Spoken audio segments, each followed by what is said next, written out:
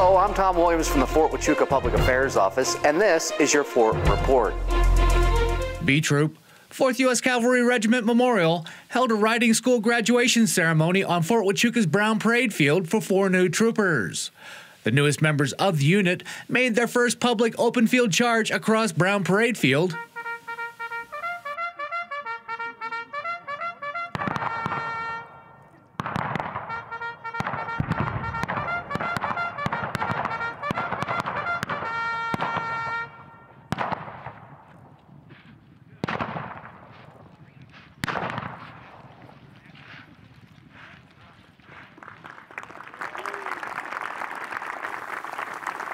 and the commander of U.S. Army Garrison Fort Huachuca addressed the gathering. The individuals before us continue the proud tradition of Army horsemanship.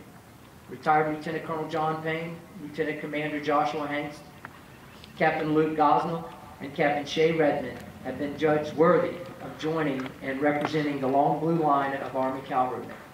They now take their place in the storied ranks of those who helped carve out this new nation and then served to keep it peaceful. The new troopers were then presented with spurs.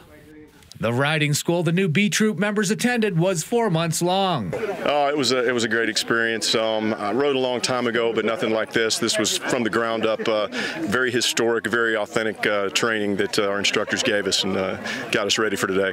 Oh, it was great, but uh, we're actually going to learn some new stuff, jumping the horses, and starting to do some more advanced horse riding. So the training is not over, and I'm actually excited to start the, the next round.